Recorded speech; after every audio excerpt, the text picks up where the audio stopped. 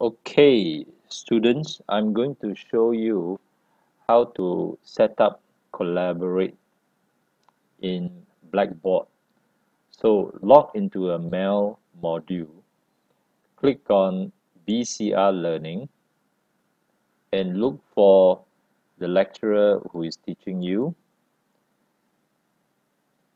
Click into his folder and click into the session or the virtual classroom.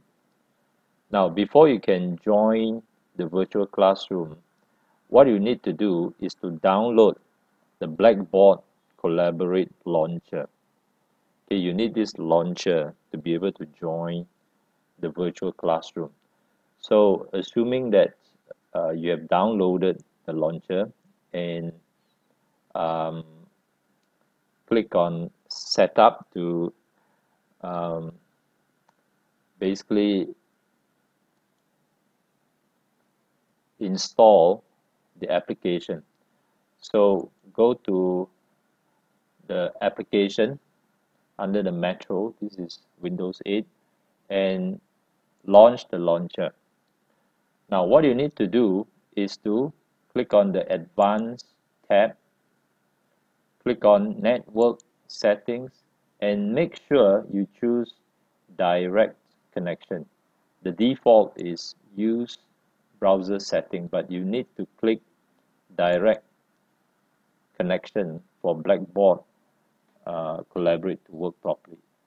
So once that's done go back to mail and click join room. So what happens is that uh, a file called meeting.collab meaning collaborate is downloaded. So you can either go to the folder uh, where that file is downloaded or you can directly click uh, the file within the browser. I'm using Chrome Google Chrome. Okay by the way you can only use Firefox or Google Chrome. So let's just um, show the file the meeting dot collab in the folder. And I'm going to launch by clicking on double clicking on the meeting dot collab so Blackboard collaborate is now launching. Wait a while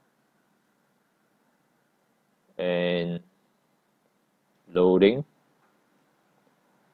and is connecting and authenticating.